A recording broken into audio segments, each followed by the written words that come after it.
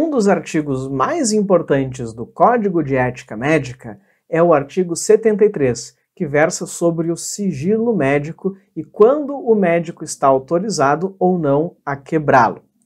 Não se esqueça, pessoal, o sigilo médico ele deve ser sempre preservado, exceto com três motivos: dever legal, consentimento por escrito do paciente ou motivo justo.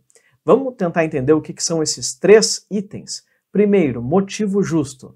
Por exemplo, o indivíduo está em risco ou então está ameaçando o risco de vida de alguém.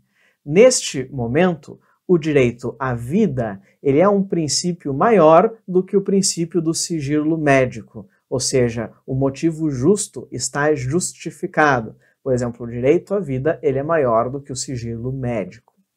Segundo lugar, quando que pode ser quebrado o sigilo médico? Dever legal. Há uma autoridade judicial que determina que o médico deve quebrar o sigilo médico, como por exemplo a entrega de prontuário. Lembra que sempre nesses casos o médico deverá entregar diretamente ao juiz o prontuário, no caso, e pedindo observância ao sigilo médico.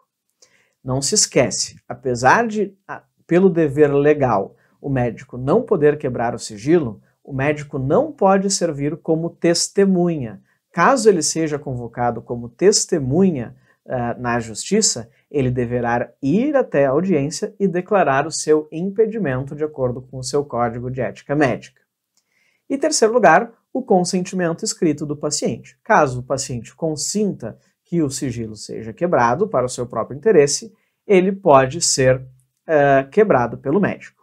E tem uma pegadinha que está em outro artigo do Código de Ética Médica, que é quando o médico pode usar o seu prontuário uh, para sua própria defesa.